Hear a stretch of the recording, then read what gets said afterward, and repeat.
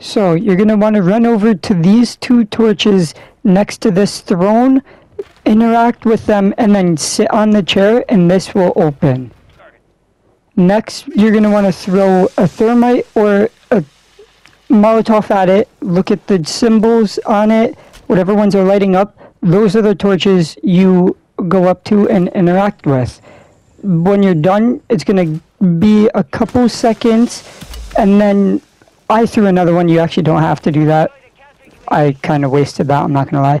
But you just have to wait, and then it opens. When it opens, there's going to be a gold lockwood and a Plymouth, and right at the start, like the very entrance back up there, there is also a uh, loadout crate that you can open, and that will give you your loadout. And yeah, that's it.